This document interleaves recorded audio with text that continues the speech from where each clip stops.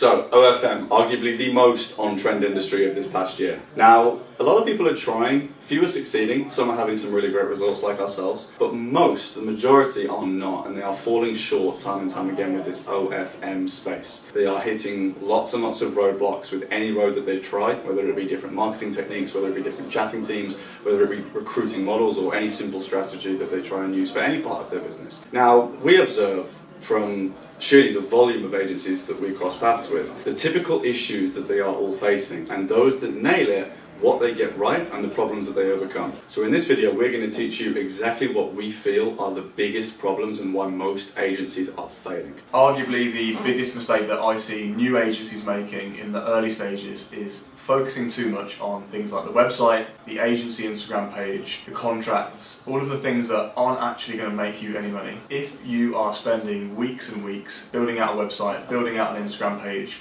all of the finer details, you're going to waste time you haven't signed a model, you haven't made any money, you haven't sold any PPV, you haven't generated any traffic. You have to focus on the things that are actually going to bring in revenue for the business in the beginning to get things off the ground. After all, the number one rule in any business is money in. So faffing around with things that ultimately don't get you paid will only hold you back. Now we're not saying that an Instagram page or a contract isn't relevant. It's absolutely relevant and very, very important. In fact, in many cases critical. However, it shouldn't be your first port of call. Why are you writing a contract with no model to send it to? Another big problem that we regularly see is a willingness, at least initially, to be anonymous. Now, we're not saying here that you've got to go out and start publishing YouTube content and be an influencer in the OnlyFans space. But what we are saying is that you should consider that models will want to sign with agencies that they feel they can trust, with agencies that they feel they understand and they actually know who this is and that it's not some ghost that's going to scam them. So, having a public Instagram page, having a few posts, engaging with OnlyFans creators, following them so they follow you back, potentially engaging and building a friendship so that you like each other's posts. These sort of things go a long way because if a creator jumps to you, they click on your profile and say, oh, followed by 15 creators I know, or oh, posts are liked by my friend. It's going to be a much, much easier time because there's already that social proof and there's already that kind of referred, okay, this guy's okay. You know, this guy's worth responding to. This guy's worth giving a chance. So your recruitment's going to be better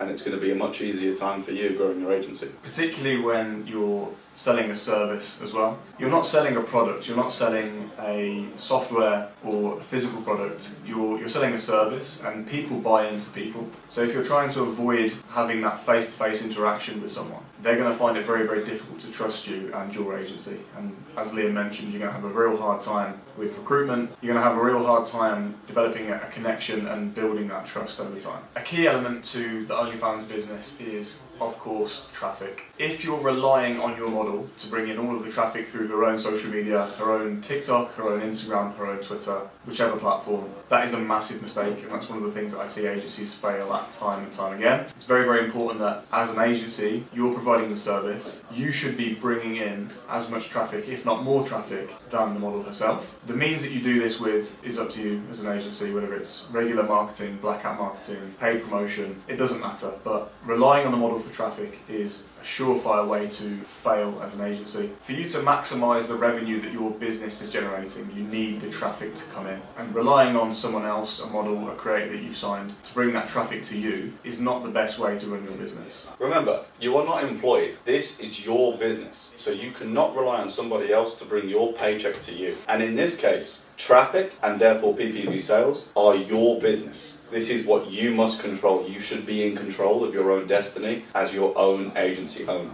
So do not rely on somebody else to bring you traffic because it's your agency and it's your job. So you need to have at least 50% contribution towards what comes in so that you can take your contribution of what comes out. You could be amazing at recruiting new models into the agency. You could be amazing at forming company structure. You might know everything about taxes and all of the ins and outs of the business. But if you are not well equipped at bringing in new traffic to your creators pages, there are no one for the chatters to talk to. There will be no PPV sales, and you're going to be relying on whether your model has had a good day or a bad day, and whether she feels like making some TikToks to actually bring that traffic in. That is a weak position for you and your business to be in. Now, another point that I can really relate to, having come from being a one man band, is the problems associated with being a one man band. Now, in this business, as you guys know, I have a business partner account. And I can see every time that we talk to somebody that doesn't have a business partner, the fact that every problem is on their head. They deal with the problems alone, likely in a bedroom, likely by themselves, likely stressed and overwhelmed by the problems that they face. But there is something about team that allows those problems to feel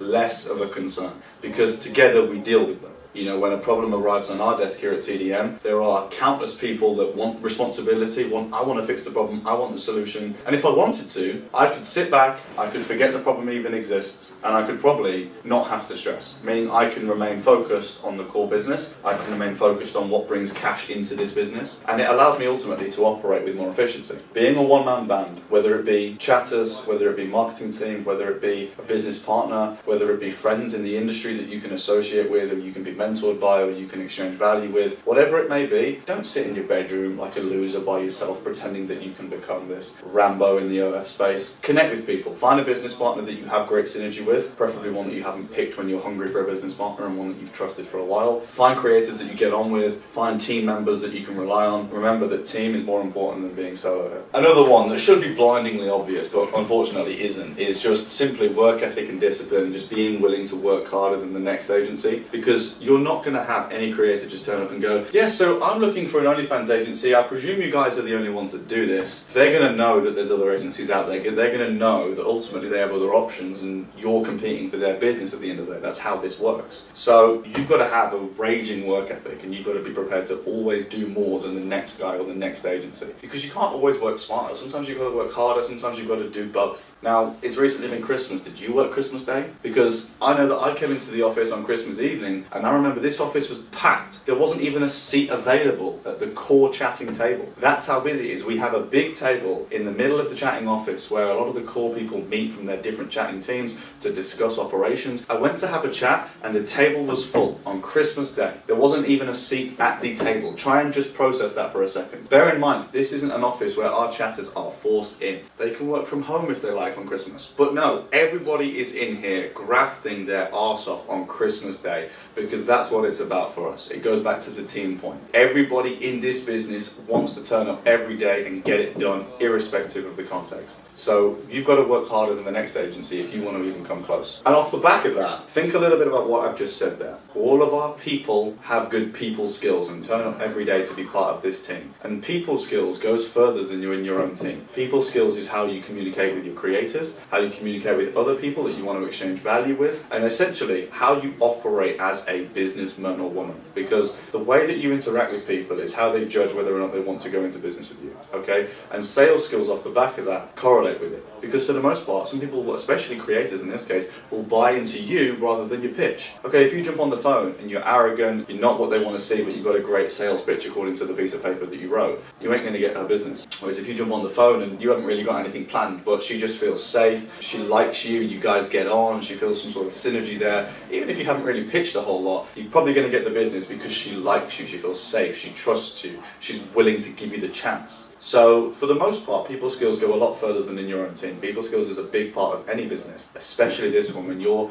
entire way of generating new business is through people putting trust in you. The OnlyFans space is continually evolving. The social media platforms that we use to market are evolving. Creators and their branding is evolving and changing. The platform itself is evolving. You cannot be of the mindset of this is what we do, I do things my way, this is the only way to do things, and be stuck in that thought process. You have to be able to adapt and improve as things change within the space. A fantastic practical example of this would be dating apps. So let's say, for example, we're driving traffic through Bumble, and overnight it suddenly stops working. Well, are we going to walk into the office and go, okay, guys, that's it? You know, Bumble stopped. I guess that's the end of the agency. Good night. Or are we going to find a workaround and we're going to make it work? I guarantee you it's the second, and I'm sure you agree with me. So having a resistance to adaptation is going to hold you back, and it's one of the biggest problems that we see with agencies at the moment. And finally, another point to add on to that, that kind of aligns very well, is an expectation for things to be delivered, an over expectation. In this case, it would be an expectation for a solution to appear. But actually, that's not the case. And an over expectation in this industry is all too common because people watch videos from Dean or from myself or from Nathan, they see fantastic results and they think, wow, these guys smash it, you know, I'm going to jump on and I'm going to smash it. But actually, have you spent the hundreds of thousands of hours that the three people I just mentioned have? No. So to expect that kind of result is, is unrealistic, and you're going to need to either spend a lot of time or money to learn how to do it. So with that said, hopefully that was valuable for you, and hopefully you've taken away a few things that at least you can consider when growing your agency. And now you understand what we see from you know the industry leaders that have been doing this for a very long time, the common problems that we see in the people that are trying to compete with us. It should give you an idea on what maybe to focus on and what to really consider avoiding. So hit us up on Telegram, and we'll hear from you soon.